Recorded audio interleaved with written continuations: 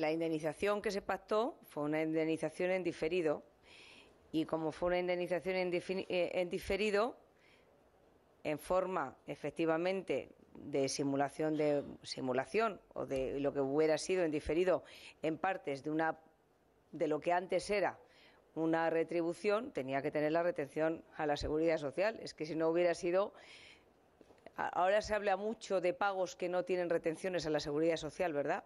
Pues aquí se, que se, quiso, se quiso hacer como hay que hacerlo, es decir, con la retención a la seguridad social. Y mire usted, yo le voy a decir algo bien claro.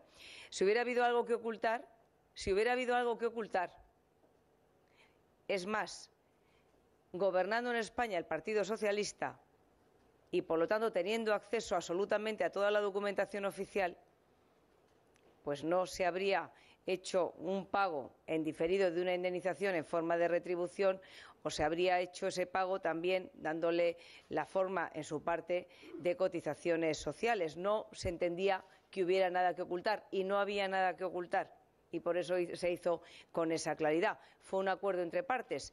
Hoy hay personas que pueden discutir si es más o menos oportuno, si jurídicamente está mejor o peor llevado, o mejor o peor hecho, pero así fue como se pactó.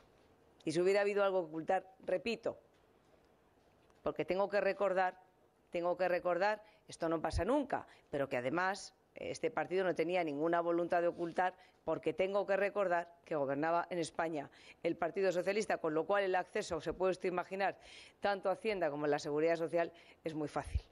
Es muy fácil. Sí.